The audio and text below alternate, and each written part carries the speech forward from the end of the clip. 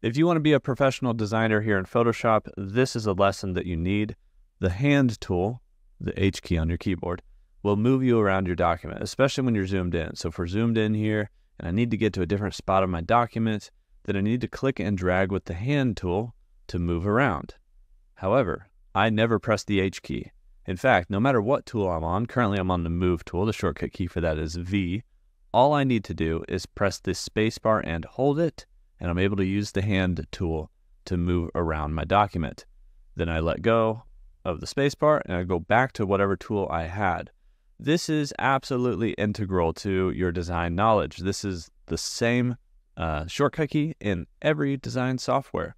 So that hand tool, as we look at my face all zoomed in, allows us to move around our document, specifically when we're zoomed in. You might notice that it doesn't work when we're zoomed out like this. I use the spacebar and I can't move around.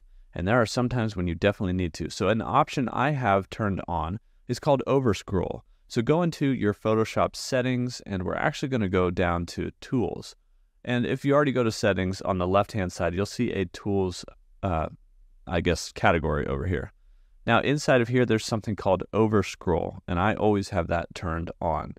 We press OK and what that allows us to do is press spacebar and use that hand tool to move around. You might have noticed my uh, window shift a little bit there. That's because I have the Apple Magic Mouse or whatever it's called and you can actually use your scroll on that to move up and down and left and right, or pressing and holding spacebar to click and drag yourself around your document.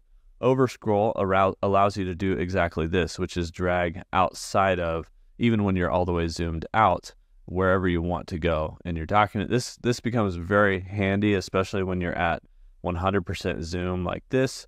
There might be something that like a handle of a transformation that you're trying to do is outside of your document, but you don't want to zoom out to get to it, this allows you to kind of scroll over, grab that handle, and scale it in.